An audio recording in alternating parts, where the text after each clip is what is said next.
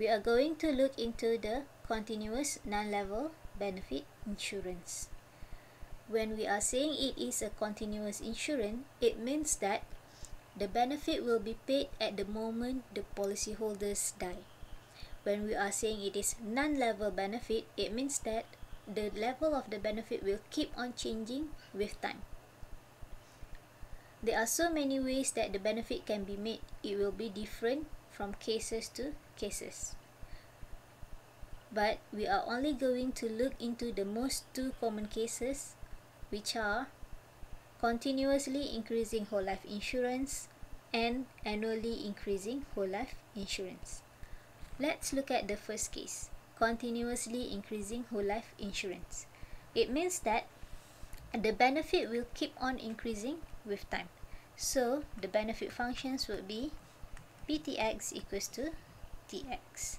And the present value of the random variable would be discounting the TX, which is PTX times with TX.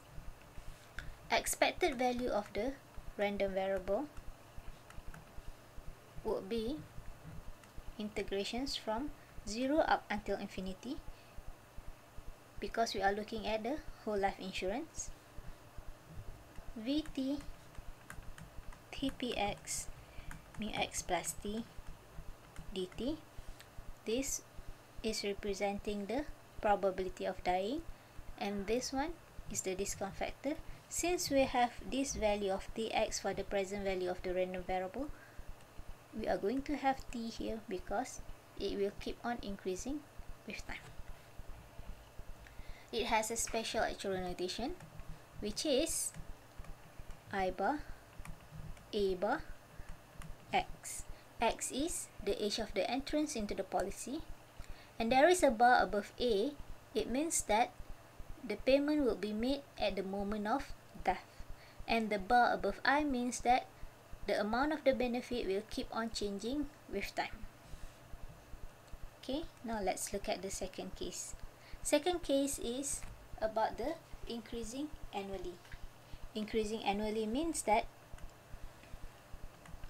let's say you have time 0, 1, 2 and so on up until infinity. So the first year payment would be let's say $1. If die within the second year you will receive $2. Die within the third year you will receive $3 and so on and so on. But the amount of the payment will be paid at the moment of death. If you die somewhere in the middle here, you will receive the payment in the middle here. Okay, let's look at the benefit function.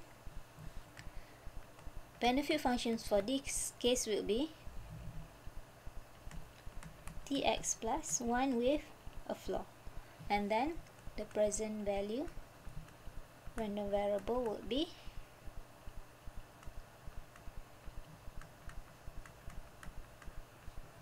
tx plus 1 with floor times with v tx. Expected value, let's assume this one is also z, equals to integrations from 0 to infinity